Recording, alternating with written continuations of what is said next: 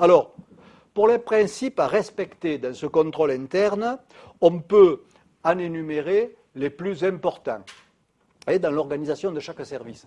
D'abord, ce qu'il faut, faut, pouvoir repérer, c'est qu'il y ait une définition claire des responsabilités. Qui fait quoi et qui est responsable de quoi? Qui a les signatures?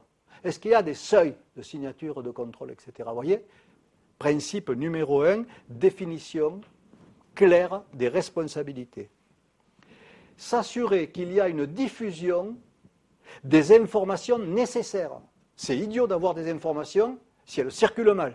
On est d'accord, tardivement, etc. Est-ce qu'il y a une bonne diffusion des informations nécessaires? Est-ce qu'il y a dans l'organisation des contrôles qui sont prévus pour réduire les risques? Par exemple, est-ce que la personne qui commande, elle reçoit les marchandises et elle paye?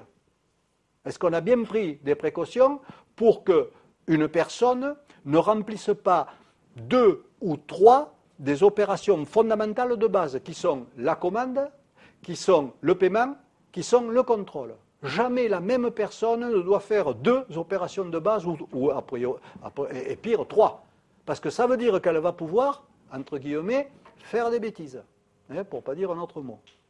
D'accord? Donc ça, il faut bien s'assurer qu'il y ait des contrôles qui permettent de s'assurer qu'il n'y a pas de dérapage.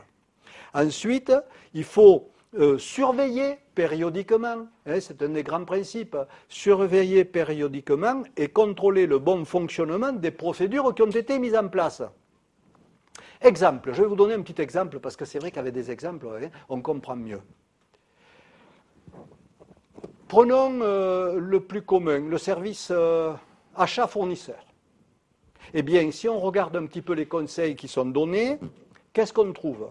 Ben, On dit que déjà, s'assurer dans l'organisation générale que euh, les fonctions de base sont bien séparées. Commande, réception des marchandises, contrôle, règlement. On les sépare.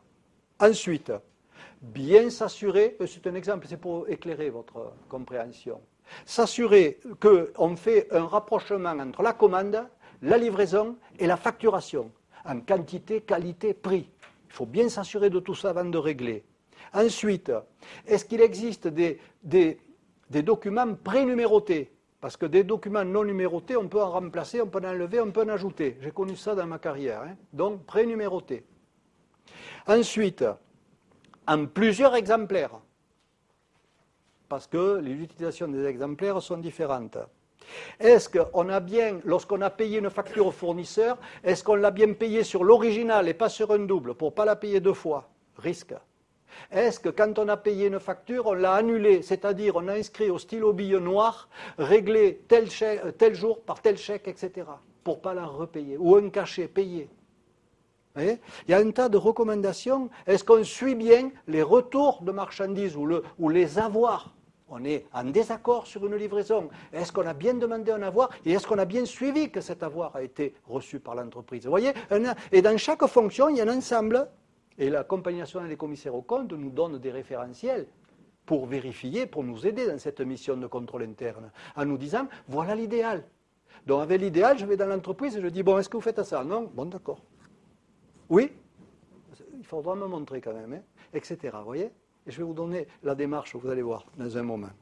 Malgré cela, le commissaire aux comptes, malgré tous ces conseils, le commissaire aux comptes n'obtient jamais une certitude totale que c'est parfait. Jamais. D'où l'importance c'est déjà